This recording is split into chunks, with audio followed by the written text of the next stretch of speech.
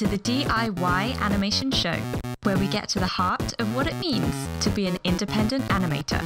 I'm Lauren Morse. And I'm Jessica Dahl. Together with our guests, we'll explore tips, tricks, the psychological, the fundamental, and above all, how to make whatever you can with whatever you've got. From the keys to the breakdowns and everything in between. The timing's right to do it yourself.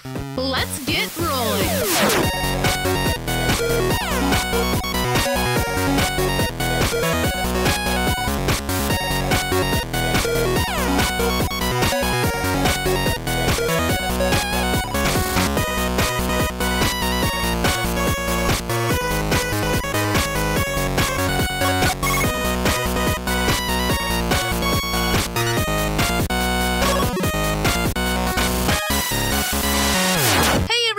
Welcome back to another episode of the DIY Animation Show. Yeah, hello. Today we've got part two of our interview with Baman Piderman creators Alex and Lindsay Small-Butera. Nice. This time we find out where Alex and Lindsay feel DIY animation is headed, what it was like guest animating on a Clarence episode, and directing their very own Adventure Time episode. We talk about beards, fuzzy face rugs. what a strong relationship with their audience did for Alex and Lindsay's Kickstarter, and having your voice be the drive of the things you make. Lindsay and Alex's determination to turn Baman Piderman into a reality became the catalyst for a whole host of unexpected opportunities. It's going to be great! Oh, yeah!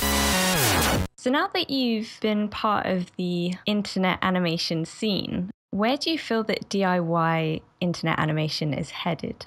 It's it's weird right now because everything's in flux. With the internet, it changes you know year to year now. Like when we were starting, when we were in college, YouTube didn't exist, um, which is crazy that it's it's so prevalent now. Um, and before, the reason Baman Piderman, the first one, went viral is because it was back when um, YouTube had the same front page for everybody, mm-hmm. and it got posted there by the YouTube staff and then everybody saw it, and that's why it went so viral. But things are really difficult now in terms of like because YouTube, the algorithm, they changed everything, so it's difficult to make. It's it's almost impossible to make a living as an animator on YouTube. Personally, yeah, YouTube is like pretty much exclusively.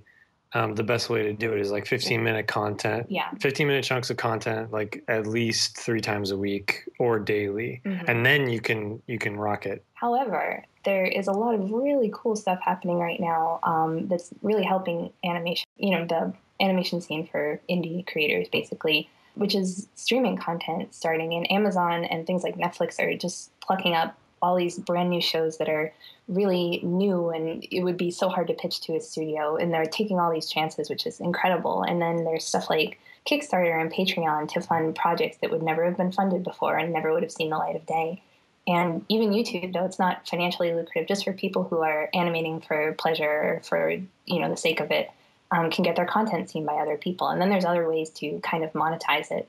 Um, but I feel now more than ever, independent animation is becoming incredibly important, and I feel really, really blessed to be one of the, the people that have been able to be at the forefront of that to hopefully pave the way for people coming up behind us. You know, getting to work with bigger studios like we work for Cartoon Network and Nickelodeon, and we've gotten to do all these incredible things. And I hope that that opens the door. Like now that we've done that, and nobody's ever done that before. Like you know, with when we did Adventure Time recently, basically Adventure Time crew gave us an Adventure Time episode and said, "Here you go, internet animators." um, and I directed it, and they saw that it was possible to do that, and it got done well, and it had a great reception. So I'm hoping that this opens the door to all independent animators, you know, sort of that are working toward like being able to get their stuff seen. It's just becoming so important right now to be able to have a platform that way and, and all this content that would have never been seen before in the past, the way things were. Um, you know, TV is kind of dissolving the web TV as we know it, basically, um, which is scary for companies, but wonderful for internet people. yeah, we have the privilege of like, you know, we were born before the internet existed. There was no internet when we were kids at all. Don't tell them that. we've seen, you know, like we've seen the development of the internet over time. We've seen the development of like video games and movies, and, and now everything is streaming. And we have the perspective of what it's like to work for TV and what it's like to work for the internet or what it's like to work for small freelance jobs for things that aren't really animation related. And um, the perspective is basically everything's changing really quickly. Um, and it seems to be changing in a good way. There seems to become a, uh, like, there's like a plethora of choices now. Like, if you have some content you want to make or an idea, you almost had too many choices. And um, you kind of need to really narrow things down. Like, especially if you're just starting, it's hard to, you're not going to have, you know, your animations posted on every single social media. That's going to be too much work for okay. you. You're going to have to specialize. The byproduct of this that is negative, the only negative I can really find is I've seen this in my students is they kind of, even in their um, exercises that they're supposed to be using to um, just gain skill, like stuff, they, they're trying to make it so that it's internet ready to sh- show off kind of thing rather than, you know, using it as an opportunity to just screw around and practice basically and, and get better. You know, you, not every project has to be perfect to already like become a viral video on the internet. yeah, it's sort of the the attitude that okay, people are going to see this. What are they going to think? Completely holds you back when you're trying to learn. Yeah, I feel like that ties back into just making content for yourself too, though, and people will come. You know. Yeah, right. But uh, all in all, it's so positive right now. And so now that tools are so easy to find to just start animating, anybody can animate. So we're getting, you know, animated works from like high school kids that, you know, will later become the next generation of people who are doing important animation. It's incredible that anybody can animate now. And I feel like we're, it's a, it's a halcyon time. And there are definitely growing pains with how the internet is. And like people are still trying to figure it out. And like companies are coming in and trying to monetize stuff. So it gets a little hairy but all in all, this is an incredible time to be an independent in any field. I feel, and and at this time, it's even more apparent that the fundamentals and the basics of animation are even more important because you have so many people have the opportunity to animate you're getting so much terrible animation out there like just because of the fact that so many people can do it. Mm. um, so there's there seems to be a you know there's a there's a deficit in in the fundamentals that we've been kind of noticing. Yeah, yeah yeah. I feel like it's everything's changed already like the the industry is like the rock has been punched in. It's all different. The landscape has already been decimated. In in new new is rising up from the decimated, like, which is incredible. And you know, I already feel like I'm only 30 years old, and I already feel like you know the younger crowd coming up now is what is you know we're already old old hat so it's like it's cool it's cool to see the rise of this and be privy to both sides of it it's really awesome mm-hmm. just along that line I feel like that's so true, just in terms of uh, trying to remember to make content just for yourself and not for kind of like the invisible people watching over your shoulder on the internet. Kind of like that sort of a mindset where it feels like someone's going to be seeing your work and judging the work and all of that. Mm-hmm. Uh, but at the same time, wanting to put content online and show mm-hmm. all that for people, and but also being able to practice fundamentals. Do you guys have any tips for how you can practice your fundamentals or even just how to focus on making work for yourself without thinking of the social media audience? I think that's a really important thing. I actually was talking to Alex about this the other day. Um, it's sort of like we're all pressured now to kind of have um, our life on display on social media and like be kind of personal everywhere now. Um, and that's sort of kind of I feel like it deteriorates your psyche a little bit. um, like you have to kind of remind yourself that not everything has to be for public consumption, I guess, like of your life, like details of your life and things like that. Um, because it can actually make you feel really bad, I feel like depressed. So I think keeping in mind that, you know, you started out on this to make things for you. And, you know, also keeping in mind that what you make for you will find a place, you know, and people will respond to it and like respond to it sincerely. Like that's i feel like all of our success has come from that. Like we we don't pander. We make really weird stuff that's not accessible to everyone but the people who like it like it and they like it very much. And so it's just like finding your place but being true to yourself and making sure you're practicing fundamentals. Please make sure you're practicing. Yeah i think um i think the danger of putting everything online is that the environment of what someone has made that is theirs that they don't want copied or stolen um, can kind of really damage what you try to make. Everyone's desperately trying to be unique and desperately trying to be original, but um, there's a problem in in you know you learn when you're a kid you just copy art. Like you see a drawing you like, you just copy that drawing. Like I I remember like going through a comic book and just like like line for line imitating the art and not questioning for a second whether that was okay or not and not thinking i'm going to post this online what kind of response will it get Like um, I think I think um, copying for the sake of learning is is hugely important. And then you know when you're when you're making something that people are going to see, you're going to affect it some way. That that is going to affect it. And if everything you say and everything you do and everything you're thinking about is online for public view, then you're not being completely true to the kind of person you are when no one's watching. Like you need to be, um, you need to take care of both of those things. You need to, you need to be aware of what it's like when other people are seeing your art, but you also need to be, you know, what do you, what do you actually think about and actually care about, and you know, not let what other people think come in. You know, you need to make art about that stuff too. Just to like have a good sense of self, I think is what you're saying. Yeah. Like, and I agree with that. Like, just have a sense of who you are when you're alone, when you're not like on you know, on I'm doing quotations with my fingers, but you can't. just like just be yourself and that's fine. And take care of yourself. so you guys give such good answers. Seriously. Like I've just been like sitting back, just like smiling, like this is so nice. You guys are you guys are just wonderful. My goodness. Yeah, it's super encouraging. It's really lovely. It's it's really making me want to start doing personal projects again. Right? yeah. That's good. I want to encourage everybody everybody in the whole world. Oh, I think you will manage that easily. so, because of your super fantastic work on Baman Piderman, you guys gained the attention of major studio Cartoon Network and were given the opportunity to be guest animators on not just a Clarence episode, but also an Adventure Time episode and most recently with Nickelodeon, a little SpongeBob vine, which is just the bee's knees. It's amazing. Thank you. Thank you. You're welcome. Most welcome. Can you tell us how those came about? Um, interestingly enough, actually, I, we were working with Cartoon Network a long time ago as well. Actually, when I was still in school and Alex had graduated because mm-hmm. he was a year ahead of me because I stayed on for a second major, I actually had been I had pitched to them an idea that I had made a pitch Bible for, and they bought it. So I was working with Cartoon Network with Alex for about a year. Um, back in what year was that? Like twenty. It was 08. 08, yeah. 08 or 09. Um, and I almost went to series, but it kind of like they went to Cartoon Network Reel at that time, and things got shuffled around there, um, and a lot of projects fell through, and ours was one of them. So then, much later, you know, we'd always been fans of Cartoon Network after that, and everybody we had worked with when we had initially worked there was lovely and super great. And so, a couple, is it like two years ago, we were working on Clarence now? Or is that a year and a half? Uh, probably a year and a half. I have no concept of time anymore.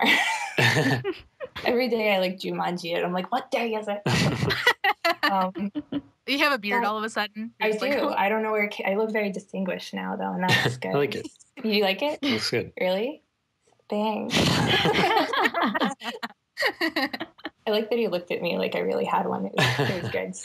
Um, but um, so the Clarence people, we love Clarence. I love Clarence. That's probably my favorite show on Cartoon Network. Yeah, Clarence. we we just like sit on the couch and are praising the episode for a good like 15 minutes it. after it ends it's every animated, time. it's animated so well. It has some of the best board artists on it. It's so charming and hilarious and weird and like it's sort of Baman Piderman esque in a way. Um, and I that's why I, I, like dig onto that. I'm like, oh, cool. This is the kind of content I like. Um, it's, it's, like what being a kid was actually like. Yes Yes. Like your memory of things you did, be, it's making me remember things I did as a kid so in a very authentic way. Yeah, it's so authentic and sincere. I just love it. Um, wow. But back a while ago, they actually approached us first to do a short, and we we were like, oh yeah, totally. And then they were like, instead, let's do an episode, and we were like, oh yeah, definitely. I love the Clarence crew. They are incredible. Like Spencer and I want to say Mel. I want to keep wanting to call. I know. Nelson. I know.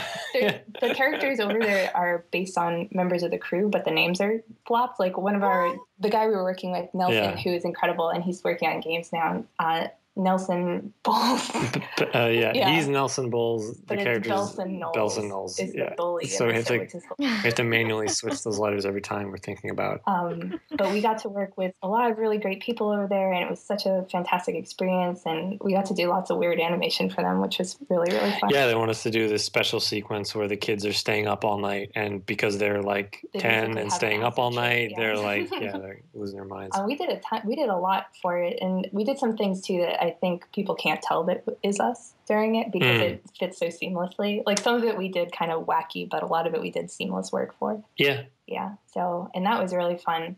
And then after that, actually, um, the showrunner for Adventure Time, the current showrunner, Adam, Adam Muto, who is an excellent dude, he's been a fan of Baman Piderman forever. Like he donated too much money to the Kickstarter. He's like a good, a good boy. Um, he approached us after now that we worked for them, Cartoon Network, like that. He's like, now I can finally, you know, I'm pulling you in, and we were like, okay.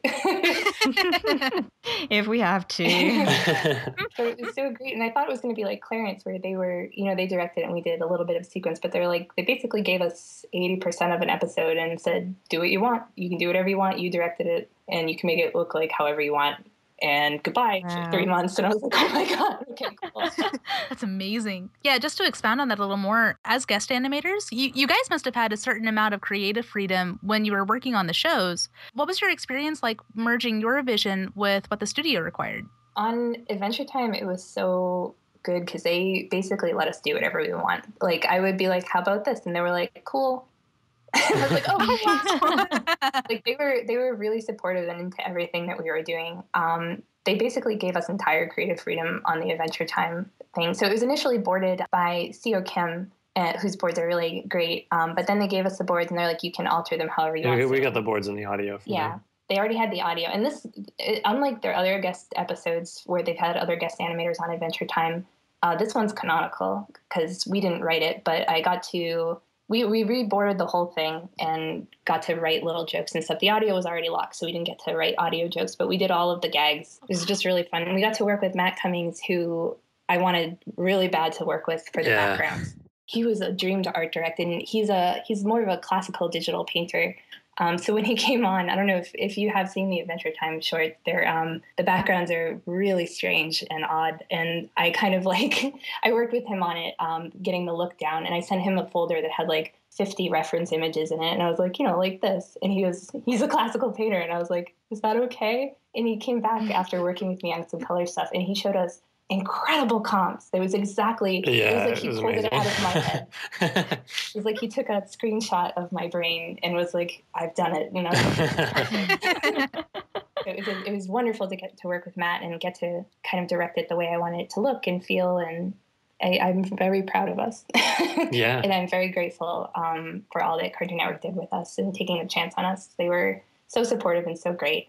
And with Clarence, we got to do a lot of fun back and forth with them just on things like um, Yeah, because they were mostly like like individual, you know, 10, 5, 10, 3, 2 second scenes. yeah, And and it was sort of like, okay, for this one, what do we do? And each one was sort of like a new little Yeah. gag, or how we're gonna make this silly, or what we're gonna do here. And they let me pitch a lot That of was gags fun. for it. Like the bat gag was sort of like they had an initial thing in their script for it, and I'm like, what if we make it gross? And they were like, yeah. they were really open to that. And then uh, we also got to work on a Clarence short, which isn't out yet, but whenever it does, um, I got to write it, which I was excited about. And then we got to do all the boards for it. yeah, we actually haven't even seen it yet. We did like I assume it's good.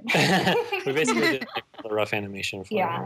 it was really fun to get to write for those characters and just Yeah. such a great experience. We love Cartoon Network; they are incredible. and Nick too. When we worked for SpongeBob, um, again they were like, "Do whatever you want," and we were like, "Okay." and so we got to kind of come up with goofy ideas for it. We've been like working hard enough for long enough, and you know the the things we care about are pretty much all in Baman Piderman. So and our other people, work, yeah. yeah. people pretty much know what we're about. They just so kind of leave stuff. At, they're like, they "We can- like what you do, so just do whatever you want." And I'm like, "Oh my god, it gives me this power."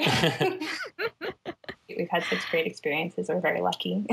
yeah, Yeah, that's super cool. Yeah. So with working on Baman Piderman, it sounds like there was a lot of trust just in general, like with you guys guest animating on the shows, which is just absolutely wonderful and it's totally warranted just uh, from the work that you see from Baman Piderman. It's absolutely great. Were there any differences working in a major studio or or even just with a major studio versus working on your own thing? Um, just basically having to answer to other people, I guess. when we're alone, we're we're alone. But um, working for other people, you know, you do have to be kind of updating them pretty often on what you're doing, just so they know that you know it's proceeding as as yeah, planned. yeah.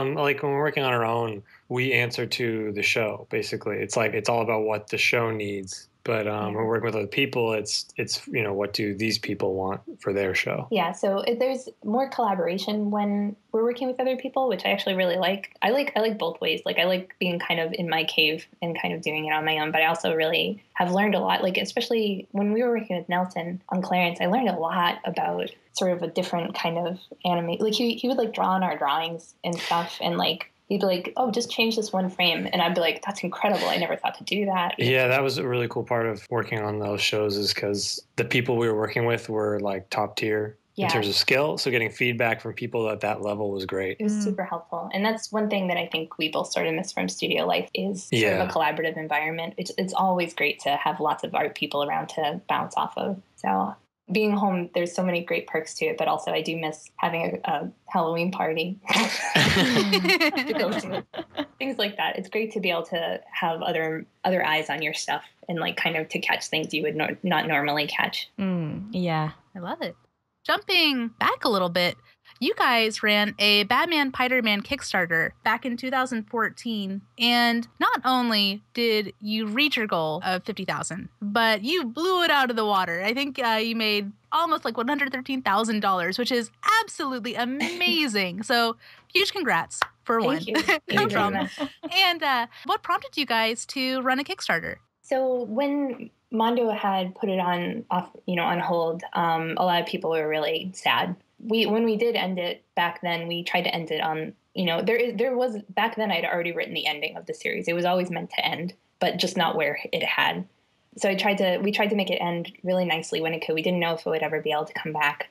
But then, you know, a couple a year or so after that, I guess, Mondo had wanted us to maybe do a Kickstarter, and they had talked about for some other things, and we were. I was always kind of like, no, no, no. You know, it, it, it got complicated, and I didn't want to complicate it because it's not meant to be complicated.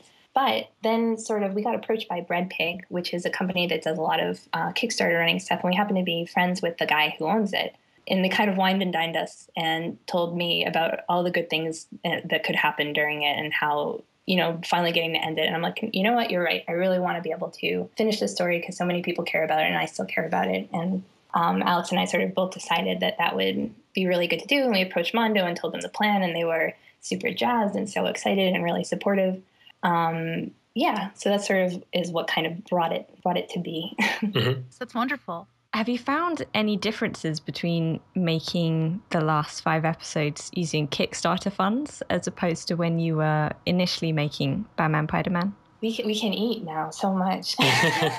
well, that's good. That is a very good thing. like I don't know if anybody else has noticed it, but we've tried to up the quality significantly because people, you know, very generously uh, donated to our Kickstarter. So we're like, we want to make it as good as possible for them. So Mm. Yeah. we've hired a musician to work with us, so it's not just Alex and I making tinkly sounds on a keyboard. Um, which has been great having money to be able to actually hire people to help us to make it as good as possible, which means having a musician. I'm able to hire people to help color so it's not just me in a dark room.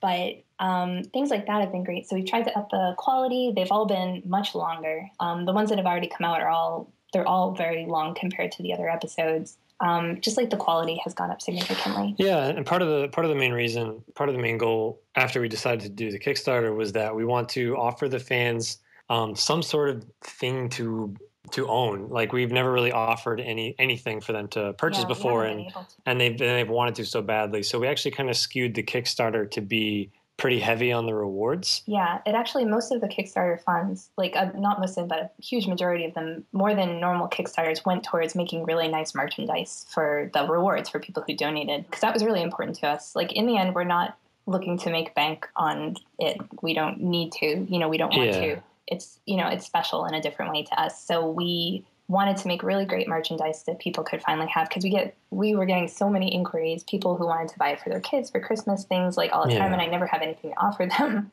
but we were able to make incredible merchandise for the kickstarter like the pumpkin plush is the coolest thing I in the was going to say I was going to mention the pumpkin. It's amazing. it's made by Wheel of Fine, so the quality is incredible on it. It's Yeah. and it's so big. It's like what is it like 14 inches tall? It's so Mhm. big. Oh my goodness. And like they're great T-shirts and just everything was great. There's something I really like too in the fact that like Pumpkin is probably like one of the most grounded characters out of everybody, and like and, Yeah. and he's Oh. the one that that's like cute, like plushy stuffed animal. I, I, I love it. He's I love the it. heartthrob. He's the brain of. It's true. Son. People love. Yeah, I was gonna say I was drooling over the uh, the idea of the actual lenticular postcardy gift That was thing. Oh, amazing. Yeah. genius! Those are so fun. They're beautiful. Yeah, how did you guys come up with that idea for like that's such a great idea? The gentleman over at Bread Pig, George Rohac, it was actually his idea, I believe, for the lenticulars. wasn't Yeah, he he hooked us up with the people at Wheel of Fine, and Yeah. he he was like, "Here's the best way to do shirts, and if He you're gonna do was post good. posters, do it this way." And I mean, that's part. That's why we hired Bread Pig. But Um, rather than do like, you know, we did do posters, but instead of doing crazy posters or prints, we were like, you know, he was like, why don't you do an animated one since it's animated? We were like, oh my God, you're right. That's Yeah. a great idea. and he knew the, the company that made those is called Gift Pop. And they're incredible. Yeah, they're if you- great. if you go to their website, they have ones that are like, you can do 16 frame ones, oh my goodness! What? which is yeah, insane. they're cool. They're pretty cheap, and Oh, yeah. they're really easy to work with. They shipped really quickly. Yeah, and- they gave it's us cool. a discount for doing a ton of ordering from them, Mhm. and the printing on them is lovely, and they're so great. They're not like old lenticular stuff for when we were kids, like Pogs that you know have a skull that turned into Yeah, it's not. It's not like um, the quality. a 3D lenticular No, thing. no. Although they they might actually have that. I don't even know. I have no idea. They they're, they're probably capable, but um, it's, it's yeah, it's basically just frames. yeah, here's my But it- it advertisement works. for Gift Pop. They're like you can order your own, and you can just get your own Yeah, custom. You don't have to order like a hundred. They're just like fun gifts for people. Yeah, actually, it is. It's like a good present. yeah, I always like think about ordering more just like fun stuff to give out, like to Yeah. family. Like, like reaction gifts to hand to people. Oh my god. no. You put it in my brain now. Just pull out whatever reaction gif you want, just whenever you need it. Just like I need. Pachoo. Happy. I don't know. oh, that's so good. Do you guys have any tips for people considering running a Kickstarter for their own DIY animation project? Um, yes, I guess it would be. It's really, really, really, really hard. yeah, it's way more work than you think. Um, the whole time the Kickstarter is running, you are your full time job is the Kickstarter. And you will be freaking out the whole time. and constantly emailing you. It, it changes your life. It's incredibly difficult. I wouldn't recommend it for people who don't have an established fan base. There's so many projects that are animation projects that um, pop up and they look cool, but since they don't have an established fan base or they're like trying to fund to make a pilot for something, it's like you need to kind of have a proof of concept already there. Like the reason Baman Piderman works is because it had like at that point five years of animation and an hour of animation already behind it. Mm. I think a lot of Kickstarters that are looking to create something new and don't have like a pre-established kind of um, backing under them fail on Kickstarter, and then they're not sure why, but it's it's it's just because of that. Yeah, I feel like you need to have a really good proof of concept and a proof of your ability to work Yeah. hard enough. Because You know, Kickstarter is hard. I mean, like a lot of people, Kickstarters fall through all the time. I think. Yeah, and um, they shouldn't have to just trust you. You should have the the work should speak for itself, Yeah. and that should be what gets you the funds. Yeah. Mhm. Basically, like I guess the, it would be akin to convincing investors to back your project. So Kickstarter is just really difficult. Just think hard about it beforehand. Consider Patreon first. You know, consider other options before Kickstarter. But if you if you come to Kickstarter and you're like, this is the way to do it, Kickstarter is really great, and they were really really good to us. Like the people who run Kickstarter are really great, and like it was it was a really great platform. It's just incredibly difficult. So it's a lot to do. Mm-hmm. no, that makes a lot of sense. I feel like it would just be a ton of work. Do you think, in terms of establishing a fan base, what sort of marker can you hit to where you're like, okay, I think this is enough of a fan base that I can potentially run a Kickstarter? It's actually I don't even know because when we when we were starting our Kickstarter, I kept trying to get. I was talking to George, who's the bread pig guy, and Alex, and I'd be like, "We can't ask for fifty thousand dollars. That's that's a lot of money." And they were like, "Yeah, it takes that much." I'm like, "I know, but we have to keep putting it down. Nobody's gonna, you know, give us as much. as This is we're gonna, you know, we can't do this." And then they were like, "Trust me, trust me." George was like, "Trust me, trust me," and I was like, "Okay." And, uh, and when it went live, I'm like, we're never going to make this goal. We're never going to make this goal. It's going to be too hard. And then we made it in two days. Um, so I'm not a good person to ask because I have no idea how anything works. like our fan base kind of came very organically, and I don't know. I'm a, a shy, small woman. Literally small last name. Thanks for laughing at that, Alex. I appreciate it. but I'm I don't know. I'm just very grateful that we have cool people who think we're cool and like watching the stuff that we make. Um, I mean, I think it would be a pitfall to say I'm going to do this work and make this series so that I can eventually kickstart it. Like I don't think I don't think there should be a metric for that. I think it should just be I mean, you're working and making art and things are going Yeah. how they're going and if if you feel like the opportunities there, I mean, I don't know. There's a way to gauge how many fans you actually have, how many hits your videos have, how many people follow you on Twitter, how many people actually interact with you, how devoted is your fan base? So they just like get a quick laugh and they leave. Like the view count is not a good measure of how much people care. Like our Kickstarter was only funded by 2,000 people. And our videos have like some of them have like 3 million hits, some of them have 400,000 hits, but only 2,000 people were needed to make the Kickstarter work. So you don't really need that many people. I have no idea how It's the really works. hard. Yeah. Um, I guess just think about it sincerely and approach it sincerely. Um, you know, try to keep a cool head about it, and it will it'll be easier to figure out. I feel. Yeah. That's oh yeah, that's No, that's absolutely fabulous. yeah. Awesome. You know, we've talked about just how wonderful your fan base is. It's just, they're absolutely wonderful. And, you know, and you mentioned that you would do live streams, you'd interact with them. And I feel like, with just from what you've said about like you had a day job and then you were working on Baman Piderman on top of that. And then you were also interacting with the fans. Like, I love people, but like, I, I do need a bit, whew, that could be, that could be tiring if you're not careful, I would think. What was it like interacting with fans? And was that a very organic thing? Um, I had to learn kind of how to where there there was a line because it would be stuff like one time a fan got stranded in Boston and I went and picked him up and he slept over. like on a couch. And I was like, "Are you ah. hungry?" Like I was like, "Are you okay?" Like I went and I picked him up, and I Some that's, high school kid. that's kind of some stuff I shouldn't probably be doing. And then after that, there was a different time where this other kid was like, he was like one of the kids in the live stream all the time. He's like, "I'm stranded here and I haven't, you know, eaten. It's cool." And I ran, I made him lunch, and I ran over and I'm like, "Please eat, you dummy!" like I had to learn to kind of put a little barrier there because I was sort of like friending everyone and allowing everyone and it, it, was just too much after a while. Like i'm like you were like you have to stop. You're right. and i'm like but, but i have to take care of everyone. But our fan base definitely grew organically just over time. You know we never kind of tried to cultivate it. We just kind of put work out and we're not incredibly personal on the internet. Um, Mhm. i do like to keep a bit of myself on the, the dl but Yeah, we want to keep the interest in the show. Well, like the reason the reason we're doing this is is to make the art, and yeah we got we've gotten the success we've gotten from just working really hard on the art and caring about the art. Yeah, and caring about the people who watch it. you know, Yeah. and genuinely, it's it's never it's not a ploy. I really want everybody to be okay. I think you could tell just by talking with with you both that you could tell that's a very genuine statement from but that's another thing I have to kind of turn off in order to kind of function. I, I get too wrapped up in that kind of thing, like take, trying to force to take care of everybody. So I Mhm. have to I've had to pull back a little bit now that we've gotten a bit more fame, so that I don't go insane. Did you ever have to like I was about to say physically draw a line and then I imagine like drawing a line on like the computer monitor. Uh, but as Baman Piderman's popularity began to rise and you realized okay, I can't like talk with everybody that's commenting on the video or I can't go and drive out to every fan or anything like that, which that's that's super sweet by the way.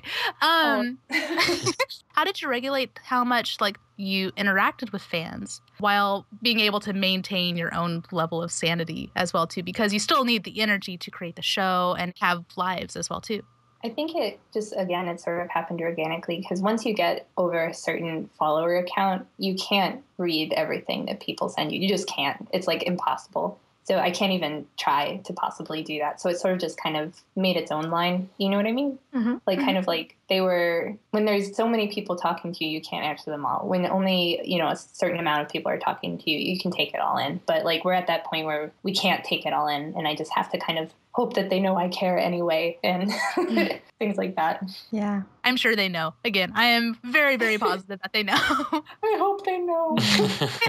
I don't think there'll be in any doubt after this episode goes out. it's just an hour of me crying. Like just I'm so grateful.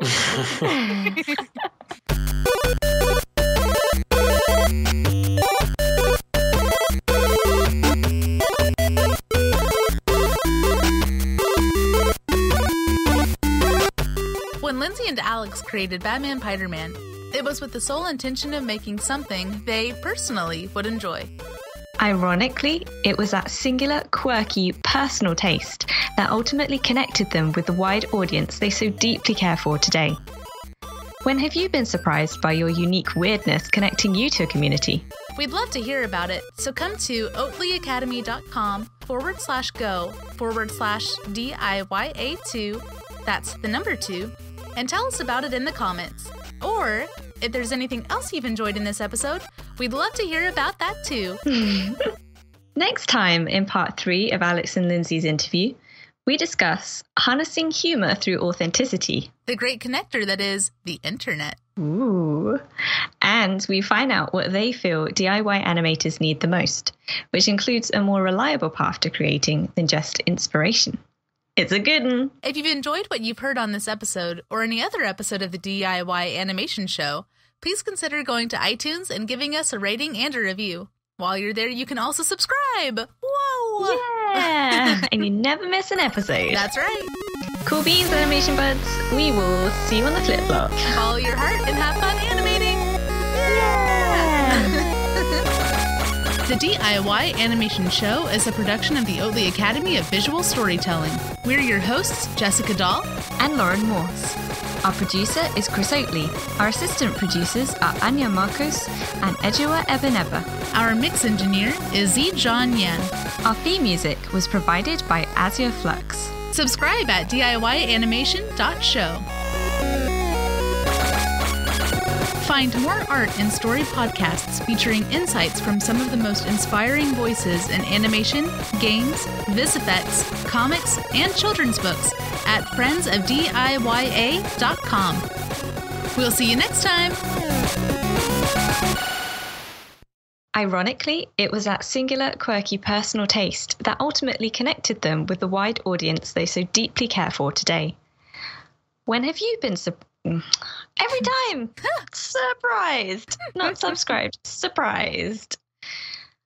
When have you been surprised by your. Mm. When have you. When have you been. When have you been surprised?